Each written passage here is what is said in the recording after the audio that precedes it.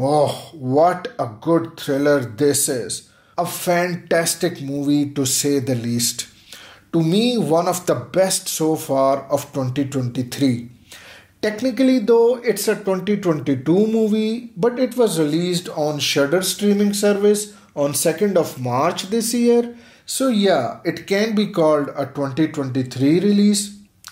Talk about quality of this movie. As soon as you start watching it, you notice that they have taken inspiration from previous movies which are based on, say, Killer Nannies and Orphan movie franchise.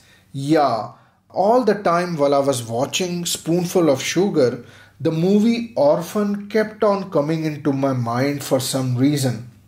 But you know, simply copying the stuff from other movies just for the sake of it doesn't cut it at all. It's actually your own creative take slash spin on the already established idea is at the end of the day what really counts. And boy oh boy, what a marvelously written, twisted slash edgy sort of story this movie presents to the audience.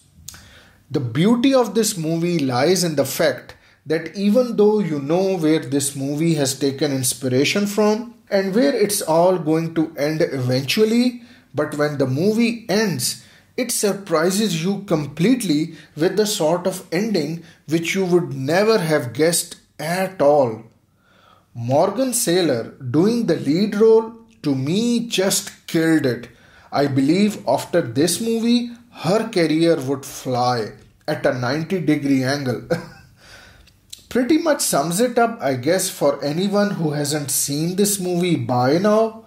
I say go watch it if you haven't already and be amazed with it. Highly recommended.